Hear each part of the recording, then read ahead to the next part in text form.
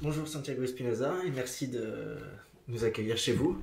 Euh, Bonjour Alexandre. C'est donc le premier entretien qui va inaugurer euh, Opium TV. Euh, pourquoi on vous a choisi? C'est un choix personnel. C'est parce que j'ai moi beaucoup apprécié votre philosophie depuis quelques années maintenant. Je ne vous ai pas eu comme professeur, mais je tenais à vous interviewer afin d'avoir un peu plus de réponses sur votre parcours. Et... Je suis très honoré votre philosophie. Euh, on va donc commencer tout de suite.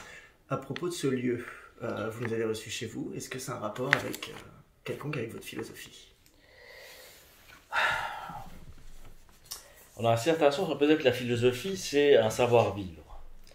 Or, après beaucoup de temps passé à Paris, et après avoir vécu amoureux de cette ville pendant bien des années, j'ai trouvé que c'était devenu invivable.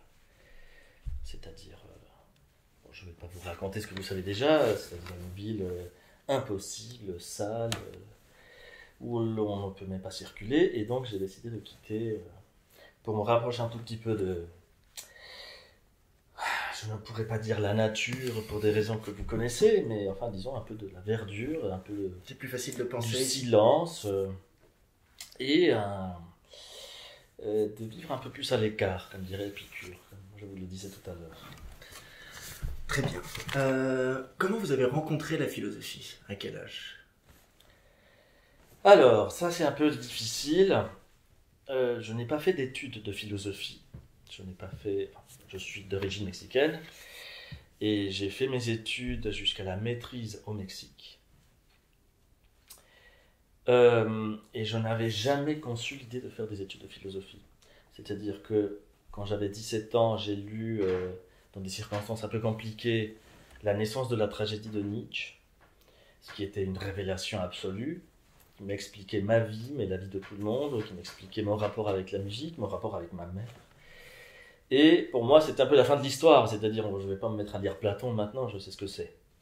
Donc, euh, pour moi, c'était lu Nietzsche, c'est fini. Imaginez si je vais me mettre à lire maintenant Husserl.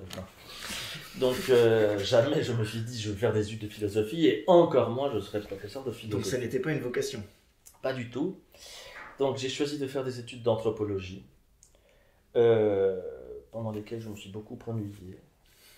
Et je continuais de lire, finalement je me suis aperçu que Nietzsche n'était pas le seul, qu'il y avait d'autres philosophes qui, qui allaient un peu dans son sens. Et au fond, comme je ne prétendais pas être professeur, ni encore moins euh, professionnel, professionnel de la philosophie, euh, je lisais exclusivement ce qui me plaisait. Et donc c'était un contact très plaisant avec la philosophie. je, faisais comme, comme dit Pascal, euh, je prenais les philosophes comme pour des amis avec lesquels on a envie de prendre un pot et, et discuter des choses dont on ne peut pas discuter avec tout le monde. Et petit à petit, euh, bon, bah, je me suis vu un peu acculé euh, à exercer ce métier parce que c'était vraiment la chose qui m'intéressait le plus. Donc, euh, j'ai commencé à faire des études plus poussées. Je me suis inscrit dans un master, puis j'ai entamé une thèse. toujours au Mexique à cette époque-là J'ai commencé une un master au Mexique. je suis allé ensuite en Espagne. Et puis, j'ai fait une thèse en France. Et pendant ces études, euh, j'ai rencontré pas mal de, d'amitiés philosophiques qui m'ont un peu euh, mené à, prendre la décision de m'installer en France, de, passer une agrégation, de, de devenir professeur. Euh. Donc quelque chose dont, qui n'était pas vraiment dans mes projets. Moi j'avais pensé au début me consacrer à la traduction vous traduisez Clément Rosset à l'époque J'ai commencé à traduire, euh, pas tout de suite Clément Rosset, mais d'autres ouvrages. Ça m'intéressait beaucoup.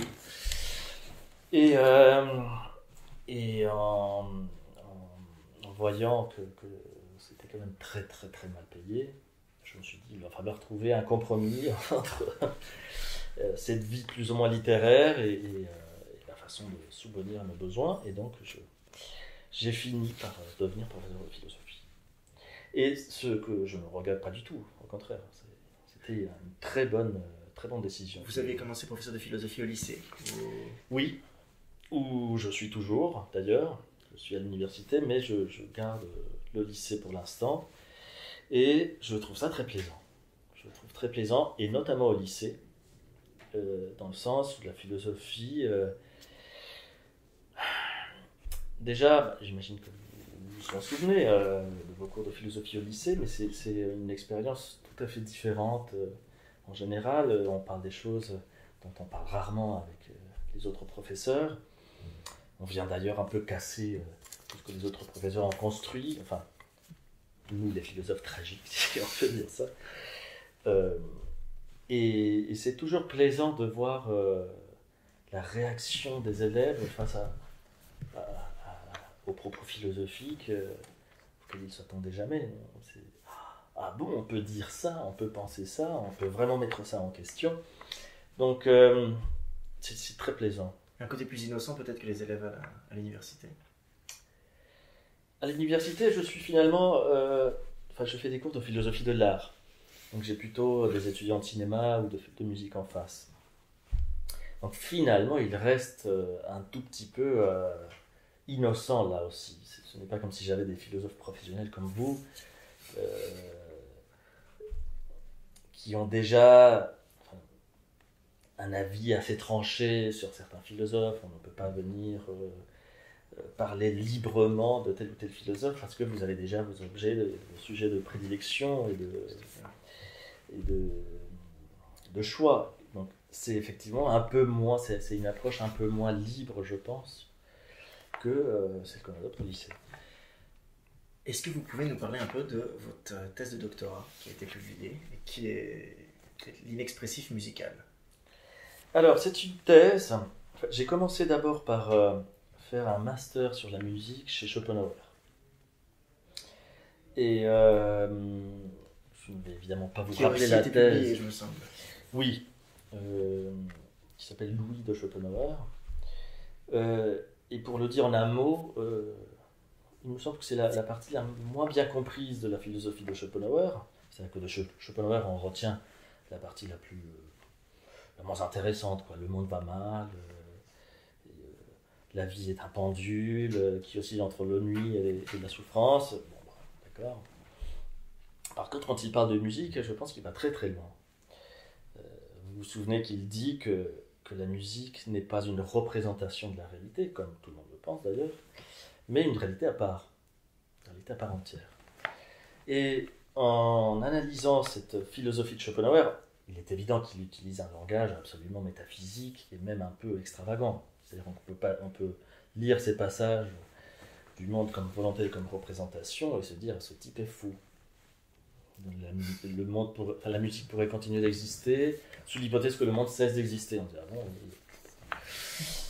Au fond, il veut aller très loin et il a compris la musique. La musique n'est pas du tout une expression de nos émotions, n'est pas du tout une euh, reproduction de, nos propos politiques ou de, nos sentiments ou, ou de paysages. C'est un monde à part entière. Et donc, euh, en faisant ce master, je, me suis dit que ça donnait lieu quand même à, une recherche plus poussée. Euh, et je m'étais déjà rapproché à cette époque de Clément Rosset, euh, qui, qui parle de musique dans absolument chacun de ses livres, qui lui-même avait écrit sur la musique chez Schopenhauer, et je pense que c'est ce point, c'est ce noyau qui nous a beaucoup reliés philosophiquement, et donc j'ai décidé de faire une euh, thèse sur euh, ce qu'on pourrait appeler euh, la signification ou, ou- oui les significations de, de l'art musical. Alors je partais du principe qui me semble, d'ailleurs auquel je tiens encore, de Stravinsky qui explique que la musique est inexpressive par essence, dans le sens où elle n'exprime que des idées musicales, et donc que les émotions qu'on ressent quand, quand on, quand on écoute de la musique, ce sont des émotions musicales. Autrement dit, euh, l'artiste, euh, enfin, le compositeur, euh, n'éprouve pas une émotion qu'il voudrait ensuite traduire en musique et que nous, écoute, écoute- enfin, nous entendrions au moyen de la musique. La musique étant une sorte de langage qui traduit une émotion en, en notes. Il, serait toujours faux de dire, par exemple, que- de traduire la musique en termes affectifs. Exactement. Que cette musique est triste, euh, cette musique évoque la souffrance, tout ça. Dès qu'on est dans ce genre de registre, on est dans la- dans l'erreur. Disons qu'on est dans le romantisme. on imagine que la musique c'est une sorte de, de communication des âmes. Ça, ça passe encore, si vous voulez. Ce qui devient un peu plus agaçant, c'est quand on entend, euh, comme on entend à la radio, on l'entendait encore il n'y a pas longtemps, euh, des propos. ça, c'est même le nom d'une émission. Je ne sais pas si c'est France Musique ou Radio Classique. Euh, L'émission s'appelait euh, Musicopolis. Et le petit slogan c'était Parce que toute musique est politique. Alors là, bon, enfin, moi je je peux pas. Je peux pas parce que pour moi la musique c'est vraiment une expérience qui me permet de sortir du quotidien étouffant où tout est politique, où tout est banal, où tout le monde a son avis. Et tout le monde... Est-ce que du coup, euh, une- un artiste engagé, une musique qui se dirait d'elle-même euh, engagée, euh, est condamnée à ne pas être réellement de la musique Non, je ne dirais pas ça. Ou est-ce que malgré cet engagement, elle peut derrière? Je dirais plutôt ça. C'est-à-dire, euh, je sais bien qu'il y a des, des- des centaines de musiciens engagés, d'ailleurs ce mot engagé est devenu euh, une sorte de joker aujourd'hui. On dit engagé, mais on ne dit même pas en quoi. Dans quoi Enfin, c'est, c'est un mot euh, intransitif. Il y a des, cuisiniers engagés, des compositeurs engagés, des professeurs de philosophie engagés. Engagés dans quoi, on ne sait pas. Alors, quand j'étais un peu plus jeune et un peu plus, irrévérent et insolent, je me disais on ne peut pas être musicien et engagé. Ce qui est une bêtise, parce qu'il y a suffisamment de preuves de compositeurs qui sont euh, engagés politiquement, ou en tout cas qui, qui, euh, adhèrent à une certaine idéologie, mais qui restent des compositeurs géniaux. Je pense par exemple à Luciano Berio, ce compositeur du, de la deuxième moitié du XXe siècle, qui, croyait vraiment euh, donner des coups de pied au, au capitalisme avec chacune de ses pièces. Mais euh, si on ignore ça, et je pense qu'il vaut mieux l'ignorer, on peut considérer à juste titre que c'est un des plus grands compositeurs de la deuxième moitié du XXe siècle. C'est-à-dire, il suffit de ne pas écouter le discours complètement banal et plat d'un compositeur qui fait ça, et n'écouter que sa musique pour se dire c'est un compositeur génial. Et d'ailleurs, on pourrait dire la même chose de Wagner, qui n'était pas engagé Oui. au sens où on le dit aujourd'hui, mais qui, euh, qui croyait faire avec la musique toutes, sortes de choses, euh, sauver l'humanité, euh, créer une sorte de nouvelle religion, faire une œuvre d'art totale, etc. Et tous ces discours très 19e, très romantiques et au fond très bêtes, euh, sont démentis par sa musique qui est géniale. Vous voyez Donc on- on peut euh, croire qu'on fait à travers l'art quelque chose, et bon, finalement, effectivement, faire quelque chose de très mauvais, parce que ce qu'on essaie de faire, c'est traduire un discours en œuvre d'art, ce qui ne peut de toute façon pas marcher, à mon sens. Mais on peut aussi, et heureusement, croire qu'on fait quelque chose à travers l'art, et finalement faire quelque chose d'artistique, à proprement parler, de génial. Euh, vous, En fait, vous nous parlez de l'essence de la musique, de l'être de la musique, dire, qui n'est qu'elle-même, si j'ai bien compris. Euh, mais est-ce que euh, vous avez une solution pour juger la musique? Est-ce qu'il y a dans votre philosophie une possibilité de juger de la bonne musique ou de la mauvaise musique un critère de valeur Oui. Alors, euh, il se trouve que ce premier livre, euh, musical, qui est le premier chapitre de la thèse, euh, qui est d'ailleurs le seul qui a été lu par le, jury de la thèse, tellement il trouvait la thèse énorme, alors que c'est la thèse, bon, à mon avis, la seule qui puisse être prise au sérieux, la seule qui prend la musique au sérieux. Que fait la musique? Elle arrange des notes dans le temps. Et ces arrangements, on les appelle des idées musicales. Et les idées musicales ne sont pas des traductions. Les idées musicales ne sont pas des translations d'un autre propos politique en musique. Une idée musicale est conçue par un musicien en termes musicaux. Je- quand je suis compositeur, je pense en musique. Je ne traduis pas euh, ma mélancolie. euh, vous voyez, enfin, je, je- je- quand je pense à, Chopin qui fait une pièce avec uniquement les touches noires du piano, ce n'est pas qu'il est en train de, de traduire je ne sais quel propos politique ou quel sentiment euh, qu'il a pour George Sand euh, en, en touche noire. Vous voyez, c'est absurde. C'est qu'il pense déjà musicalement en idée musicale. Alors, dans ce premier livre, ce qu'on peut effectivement lui reprocher à juste titre, c'est que il n'y a pas une solution à cette question que vous posez. C'est-à-dire comment, comment dire euh, que la musique de Jean-Sébastien Bach est géniale, que ça ne plaise pas. Et c'est la question du jugement esthétique. C'est-à-dire, euh, est-ce qu'on peut, on peut dire que tous les jugements se valent et donc que, Jean-Sébastien Bach, euh, pourquoi pas, mais moi je préfère Necfeu. bon. et, puis si tu me dis le contraire, c'est que tu es raciste ou fasciste, ou toutes ces sottises.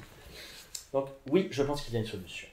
Alors cette solution, j'en parle déjà un peu dans le traité des apparences, mais finalement c'est dans l'objet de beauté, ce livre qui va paraître dans quelques semaines où je me suis vraiment attaqué à la question. Euh, et donc à définir vraiment ce que c'est qu'une objet, une idée euh, artistique. Donc là, je viens de dire concernant la musique, une idée musicale euh, ne peut pas être exprimée autrement que par la musique. Mais au fond, je me suis dit, c'est la même chose pour la peinture. le peintre pense, en, termes picturaux, le sculpteur pense en termes sculpturaux, et le réalisateur pense en plan.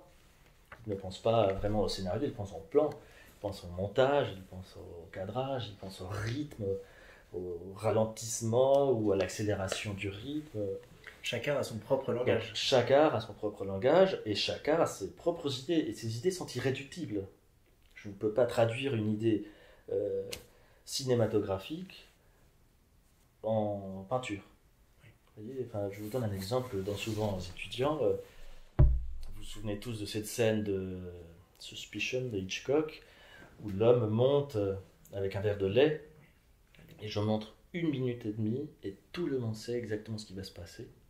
C'est-à-dire, je coupe, je dis qu'est-ce qui va se passer, personne n'a vu euh, les, 20 minutes euh, qui précèdent, personne ne voit la suite, tout le monde sait qu'il va empoisonner cette personne.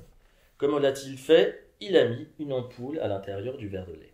Ben, ça, c'est une idée cinématographique. C'est-à-dire, quand je vous la raconte, ça ne vous émeut pas.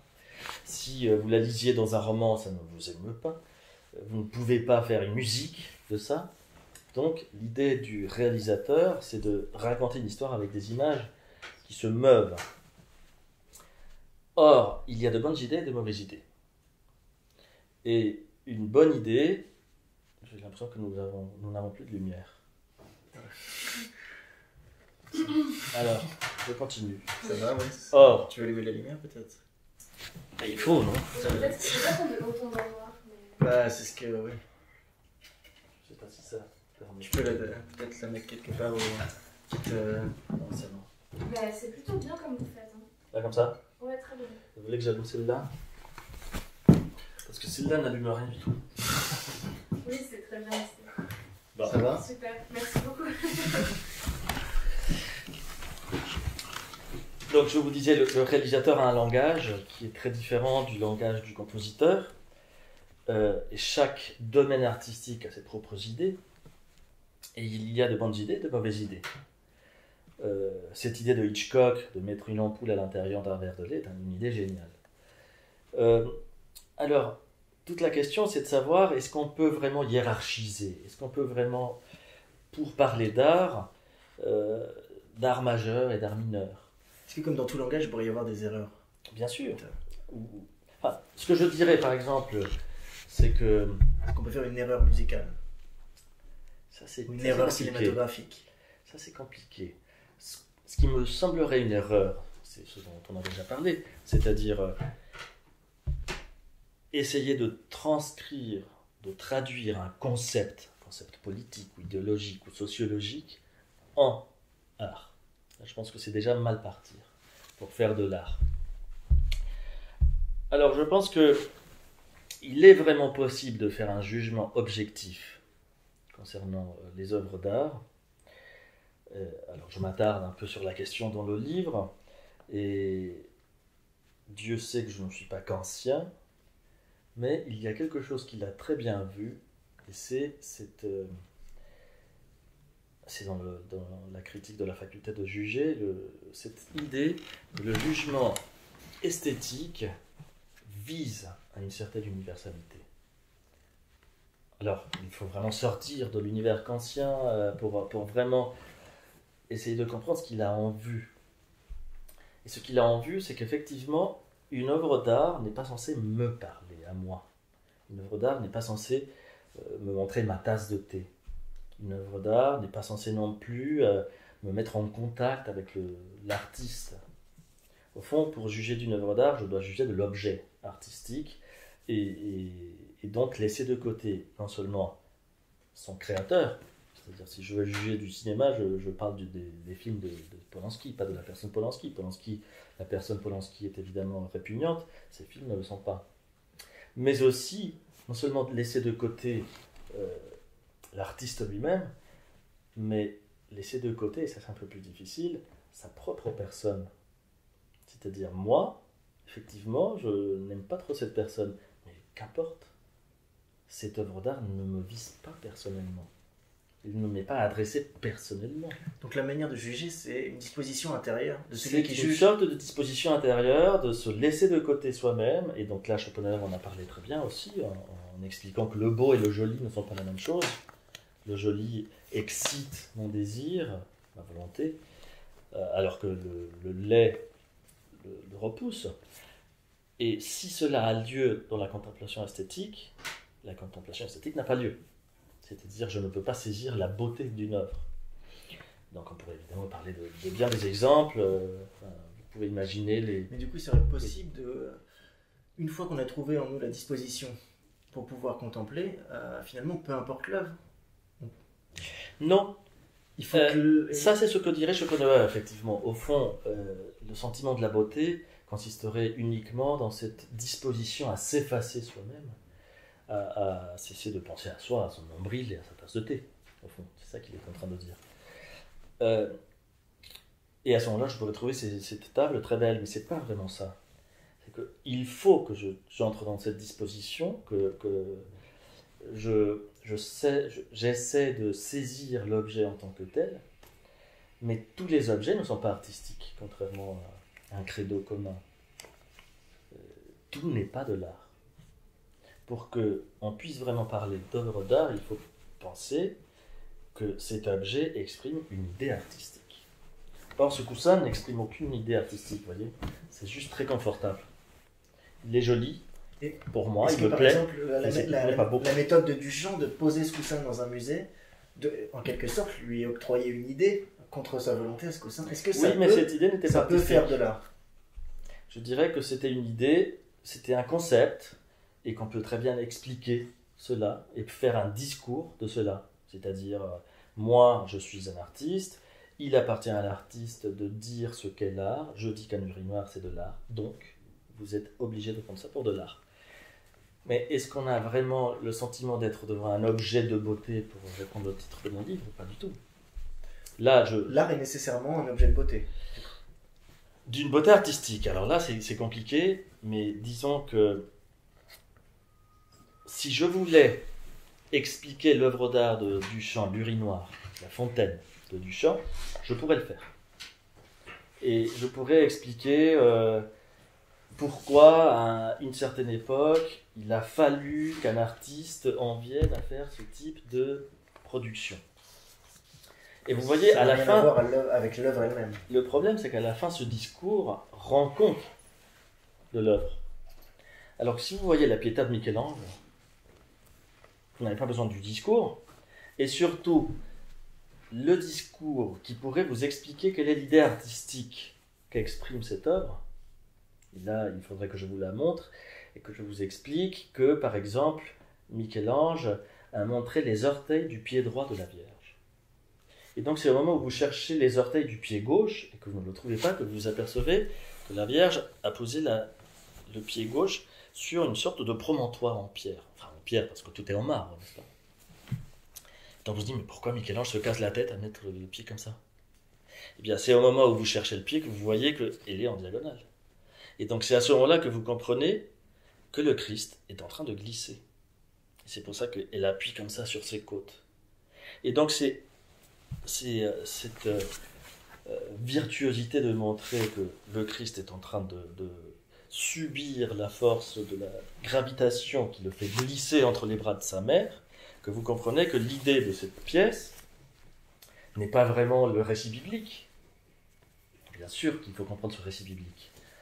Mais l'essentiel de cette œuvre, ce qui fait de cette œuvre une œuvre géniale, c'est que Michel-Ange, avec du marbre, vous présente la chair vivante de la Vierge et la chair morte du Christ. Vous voyez? Et ce que je suis en train de vous expliquer n'est pas très émouvant.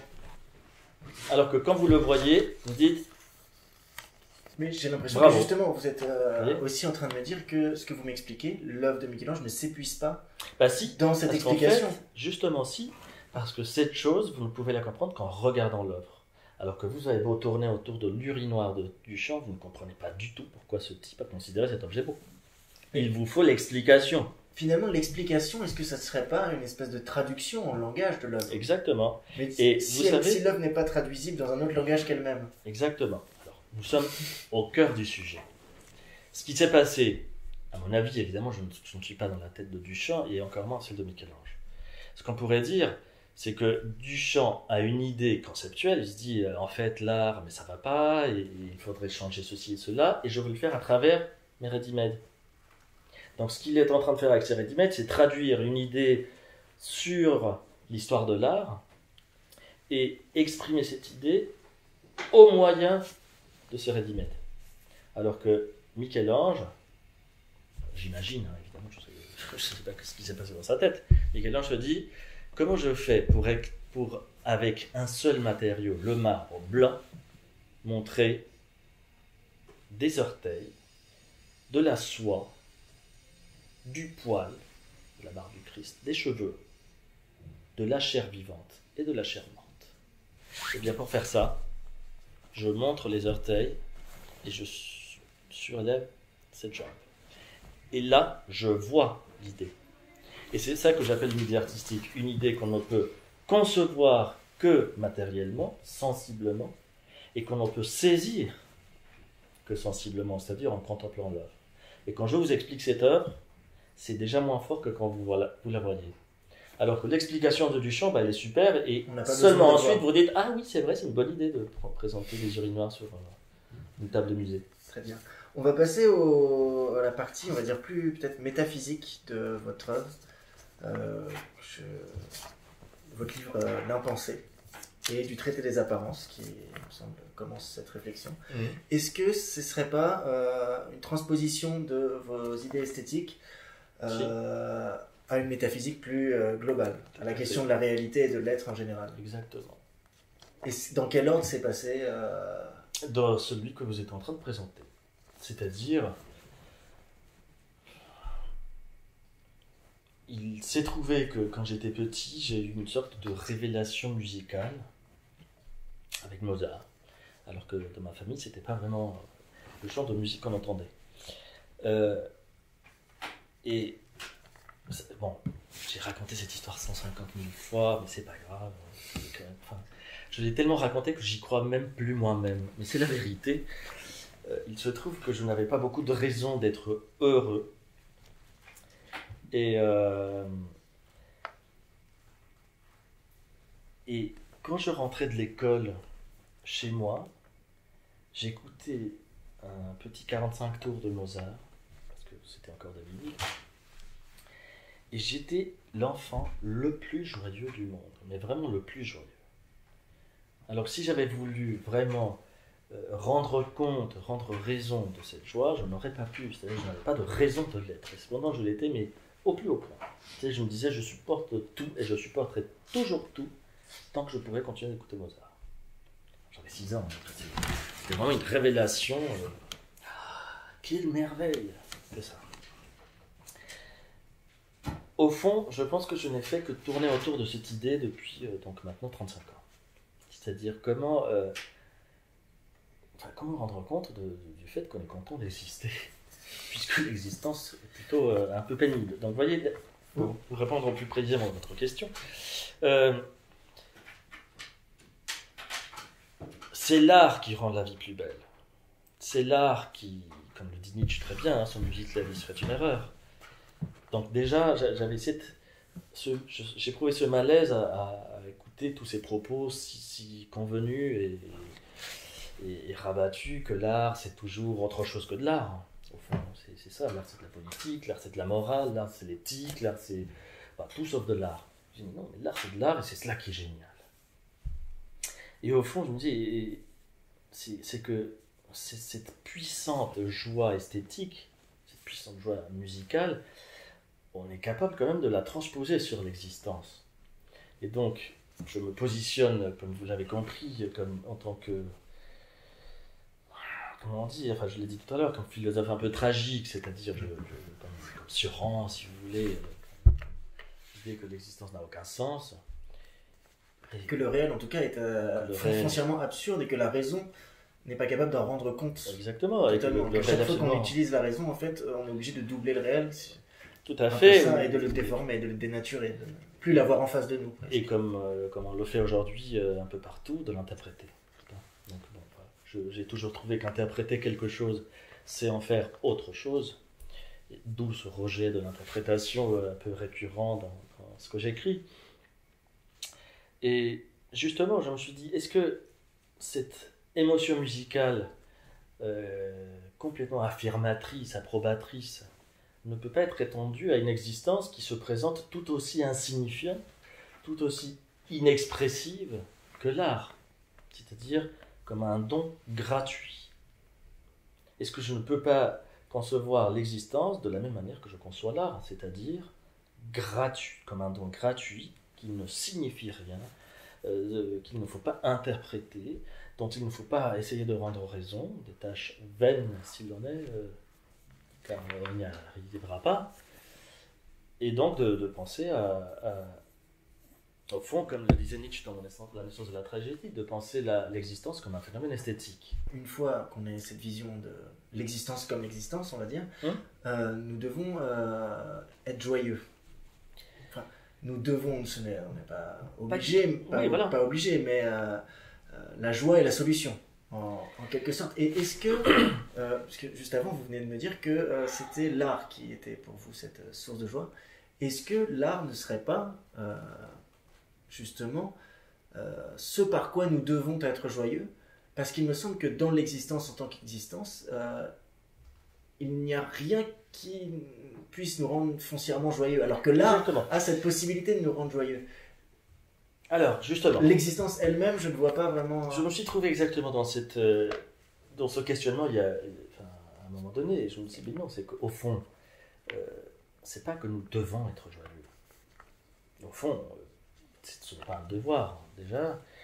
Et d'un, mais de deux, c'est le grand problème. Il n'y a rien dans l'existence qui nous invite à être joyeux. Au contraire, vous avez vu le monde lequel on vit, euh, tout le monde s'en plaint. Euh, maintenant, même les philosophes, ce qui, m'étonne un peu. Euh, non, ce n'est pas l'existence elle-même qui nous rend joyeux. En fait, la joie, c'est cette disposition aussi d'acceptation de quelque chose qui n'est pas plaisant. Je ne dis pas que l'existence est déplaisante. Au contraire, pour moi, elle est plaisante. Mais parce que je me suis déjà prédisposé, en quelque sorte, à approuver quelque chose qui, en soi, ne mérite pas d'être approuvé. Si l'on en croit Suran ou Schopenhauer ou Sartre ou d'autres, vous voyez. Donc, euh, je pense que cette prédisposition euh, tragique, pour ainsi dire, est le cadeau que nous offre l'art. Et je dirais même- plus, comme diraient les Dupont, l'art réussit là où la philosophie échoue. La philosophie, enfin, disait Épicure, euh, il ne pas me rendre heureux, Épicure. hein. Pas du tout. D'ailleurs, je commence à penser qu'il a- qu'il n'a aucune foi dans le plaisir, cette espèce de vie ascétique et frugale. euh, euh, T'as soif? Bah, bois de l'eau. T'es malheureux? Ah, bah, mange du pain. Pas du tout. On sent qu'il y a quelque chose avec le plaisir qui, qui tombe par rond. Mais en tout cas, lisez les philosophes du bonheur. Celui qui a changé d'idée en lisant les philosophes du, bonheur, je veux bien le rencontrer. Alors que l'art, oui, l'art est capable de vous transmettre des émotions telles, d'une puissance telle, que vous pouvez, comme, moi, quand j'étais enfant, euh, avoir cette intuition. Je veux bien les horreurs, euh, je veux bien mes voisins de palier, pourvu que je puisse de nouveau éprouver le plaisir à écouter telle ou telle musique, ou à lire tel ou tel roman, ou à voir tel ou tel film, ou à voir de nouveau telle ou telle sculpture du Bernin ou, ou autre. C'est-à-dire, ça compense un peu. C'est là qu'on comprend cette phrase de Nietzsche euh, que cite Clément Massé souvent la joie est plus profonde que la tristesse. La joie que certains, certaines œuvres d'art sont capables de, de provoquer compense le reste.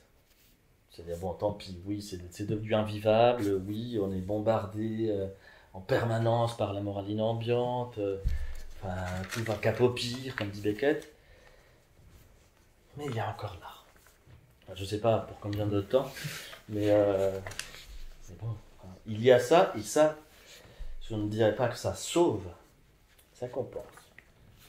Une dernière question sur le réel euh, et les apparences. Euh, vous dites à la fin du euh, traité des apparences que cette réalité s'impose nécessairement à nous et que finalement elle nous laisse un peu bouche bée sans, sans possibilité de réponse. Mais vous dites aussi qu'elle est, si elle nous laisse sans possibilité de réponse, c'est qu'elle est absurde. C'est qu'elle est fond- fondamentalement euh, irrationalisable. La raison euh, n'a pas la puissance de, euh, ou à chaque fois qu'elle essaye de la structurer et d'en rendre compte, elle euh, tombe dans l'erreur. Mm. Euh, si ce réel et ses apparences sont foncièrement absurdes, ne pouvons-nous pas justement demander l'impossible? Si les apparences et le réel est déjà dans l'absurde, euh, est-ce qu'on ne peut pas faire appel à plus d'absurde, peut-être? Est-ce que euh, se laisser euh, imposer par les apparences, ce n'est pas un retour de la raison qui est une nécessité de la raison, le- la catégorie de nécessité semble euh, propre à la raison, la raison qui revient finalement après l'avoir enlevée, elle revient par derrière pour accepter ce, ces Parce qu'en fait, moi, je suis un peu réticent au, au, au quali- qualificatif d'absurde. Je ne pense pas que la réalité soit absurde. Absurde est le monde de Schopenhauer, c'est-à-dire où il y a une finalité, une finalité qui n'a pas de fin. C'est-à-dire nous sommes vivants, on se autodévore, euh, mais tout le monde de Schopenhauer est régi par l'idée de finalité, finalité qui, ne rime à rien, qui, n'a aucun, aucun but. Moi, je ne dis pas que la réalité soit absurde. Euh, Non, mais que la raison ne peut pas en rendre compte. oui, mais elle ne peut pas en rendre compte parce que, et là, je suppose que vous faites allusion au moment où je parle de hasard, en reprenant Clément Rosset, et ça ne veut pas dire que la réalité est purement aléatoire, ça veut dire qu'il est impossible de saisir une réalité dans les cadres de la raison. La réalité se présente sans raison. Quand vous dites nécessairement, elle se présente nécessairement à notre conscience, ou, enfin, quelque chose comme ça, où elle apparaît nécessairement, c'est une nécessité de fait. C'est-à-dire, je ne peux pas rendre compte du fait qu'il y a quelque chose. C'est ça la, la nécessité. C'est que j'ouvre les yeux et bam, la réalité est là. Et il n'y a aucune raison d'être de cela. Et si j'essaie de me représenter une raison de pourquoi il y a cette réalité, c'est là que je vais forcément tomber, euh, je ne sais pas si dans l'erreur, mais je vais tomber en tout cas dans le charabia. C'est-à-dire je vais, je vais parler de rien, donner des mots à quelque chose qui est, comme je dis dans la pensée, proprement impensable. Pourquoi? Parce que penser signifie déjà avoir présent à l'esprit quelque chose. Et comme le dit très bien Bergson, et selon moi Parménide, euh, se demander pourquoi il y a quelque chose plutôt que rien signifie supposer que le réel est venu se substituer au rien. Or, si j'essaie de penser le rien, je ne peux pas. Parce que penser, c'est penser quelque chose. Donc, je n'irai pas jusqu'à dire que la réalité est absurde, je enfin, je dirais simplement euh, que la recherche de raison, que, la tentative philosophique, d'ailleurs, c'est un peu euh, l'un des, problèmes philosophiques par excellence, enfin, si bien que Leibniz pense que c'est la, la question par excellence, et Heidegger le reprend, pourquoi y a-t-il quelque chose plutôt que rien C'est euh, une façon d'évader, enfin d'évader, de s'évader, de d'éviter ce contact euh, de fait avec les choses inexplicables. Je ne sais pas si c'est très clair. Je pourquoi chercher les raisons d'être des choses? Qu'est-ce qu'on cherche au fond? Pourquoi cette recherche? Où est-ce qu'on veut en venir? Et est-ce que si on se pose cette question, on ne connaît pas déjà la réponse? Chez Leibniz, c'est très clair. Quand il se demande pourquoi y a-t-il de l'être, il sait déjà très bien pourquoi. Et Leibniz a le, numéro, il a le 06 de, du Seigneur. Donc, vous voyez, c'est, je ne dirais pas que c'est une recherche absurde de Leibniz. Je dirais que c'est une façon déjà de, de- de se refuser à cette euh, apparition tragique de l'être ou de l'existence qui, en elle-même, ne fournit aucune réponse. Du coup, la philosophie n'est plus une affaire de savoir ni de connaissance. De connaissance, euh, effectivement, je ne je pense pas que je ne pense pas que, que la philosophie soit comme le, l'a fait croire Kant pendant des siècles, des siècles aux, Husserl. aux occidentaux ou aux Husserl, une affaire de connaissance ou une affaire de recherche de la vérité. C'est une recherche de la vérité, mais une vérité qui n'a rien à voir avec la connaissance euh, scientifique, du moins. Et c'est une sorte de savoir, si c'est un savoir, mais un savoir, euh, comme disaient euh, certains philosophes du Moyen Âge, une sorte de docte ignorance. C'est, par exemple, savoir qu'on ne sait pas. Et, que certaines questions n'auront jamais de réponse, et, et que c'est pas très grave.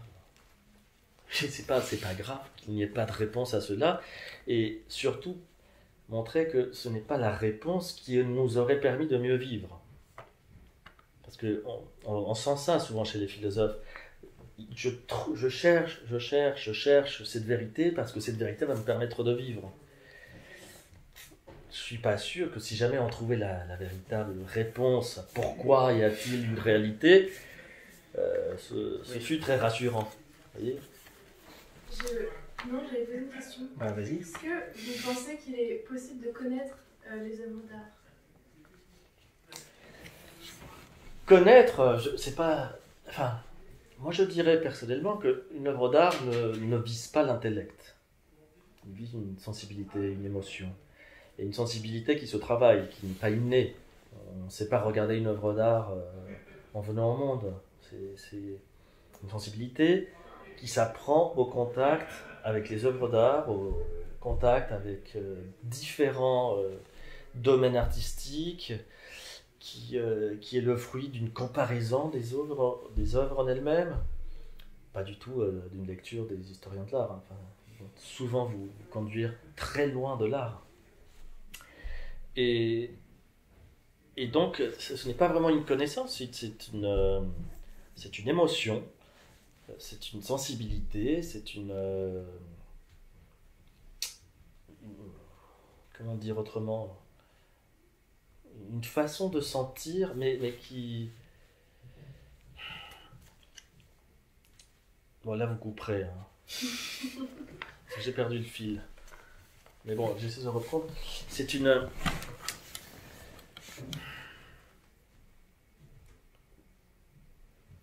C'est une capacité à percevoir à travers les œuvres d'art quelque chose qui est souvent sous nos yeux, mais qu'on ne voit pas. Par exemple, euh, comme Bergson parle d'art, il parle toujours de cette espèce de- d'élargissement du champ de conscience. Je perçois, quand je suis artiste, je perçois plus que les autres. Pas parce que j'ai une sensibilité plus puissante, mais parce que je suis un peu distrait. Et donc je ne suis pas concentré dans une perception utilitariste qui a trait à ma propre vie. C'est que je commence à voir des choses qui ne servent à rien. La rose qui est son pourquoi. C'est le moment où on dit la rose est son pourquoi, et pourtant je la vois, et, en fait je peux la voir comme quelque chose de beau.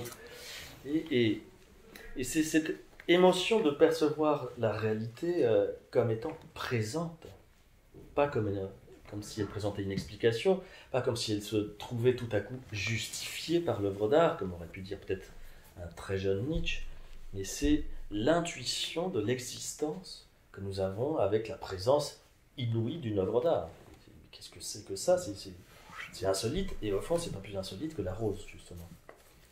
Donc, par l'art, je pense, et ça répond encore à cette question que vous me posez il y a longtemps, on a cette intuition de la réalité, cette intuition de la présence de la réalité, de la présence inexplicable de la réalité, mais accompagnée d'une émotion euh, plutôt réjouissante. C'est-à-dire, je, je, peux me trouver dans la réalité, peut-être pas tout aussi content que lorsque j'écoute de la musique, mais en tout cas dans, une sorte de miracle. Il y a des choses. Et, cela vu d'un angle déjà beaucoup plus contemplatif, esthétique. C'est la simple présence de. C'est la simple présence.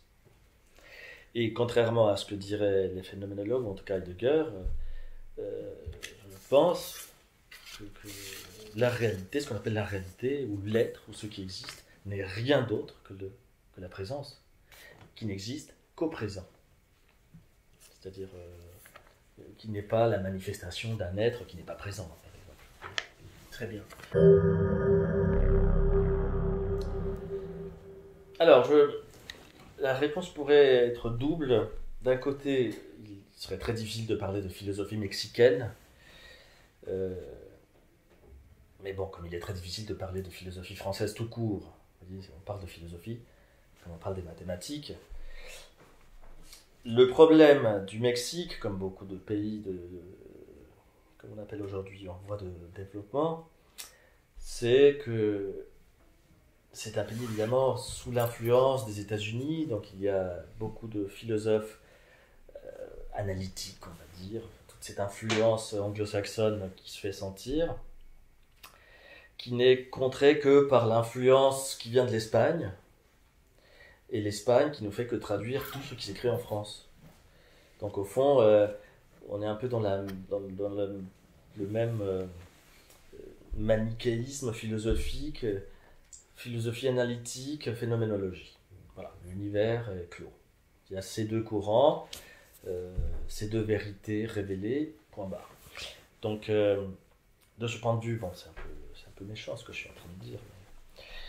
D'un autre point de vue, beaucoup moins méchant, je, ne peux pas nier un, héritage culturel mexicain qui est ce sentiment très profond et très intense de la mort. C'est-à-dire le Mexique est un pays voué à la mort. Et ça, on l'apprend très vite. C'est-à-dire, euh, il y a la fête des morts que vous connaissez en France. Maintenant, c'est même une sorte d'élément de, vernaculaire qu'on voit dans les films, même dans James Bond, on voit des fêtes des morts au Mexique. Mais c'est vrai. Et si vous lisez un texte de, de, du poète espagnol Garcia Lorca, qui s'appelle Le Duende, où il vous explique ce que c'est que l'interprétation au sens d'exécution artistique, il vous, il vous dira que la bonne exécution artistique est toujours, enfin, toujours partie liée avec la mort, avec le sentiment de la mort. Et qu'une bonne exécution est celle où on se dit je peux mourir maintenant. Où j'ai joué comme si j'allais mourir, comme si c'était la dernière fois, comme si c'était la première mais aussi la dernière. Et pour le spectateur de même. C'est-à-dire, je, maintenant que j'ai vu ce Carmen là, je sens que c'est bon, je peux mourir. Donc il y a la philosophie tragique n'est rien d'autre que le sentiment intense de la mort, d'ailleurs. À quoi ment tout ça Puisque de toute façon, ça va disparaître. C'est pas seulement moi qui vais disparaître. C'est Shakespeare qui va disparaître. C'est Homère qui va disparaître. C'est l'œuvre de l'humanité qui va disparaître. Ah, en ce moment, nous avons euh, un certain nombre de personnages qui, essaient d'accélérer cette disparition euh, avec euh, le cancel culture et tout ça. Mais c'est ça qui est ce sentiment que au fond tout cela disparaîtra. Et ça, je pense que c'est effectivement un héritage culturel. Est-ce que c'est ça qui amène la joie? Oui. Et là, enfin moi je suis très spinoziste, d'ailleurs c'est mon ancêtre, mais euh, il y a une seule chose chez Spinoza qui, qui, qui ne convient pas. C'est cette idée que le sage ne pense jamais à la mort. Moi, je pense que c'est tout l'inverse. Moi, je pense que c'est plutôt comme le dit Mozart dans une lettre à son père. Si ma musique est joyeuse et si moi-même je suis reconnu par mes proches comme quelqu'un de joyeux, c'est que je pense tous les soirs que demain je pourrais ne pas être.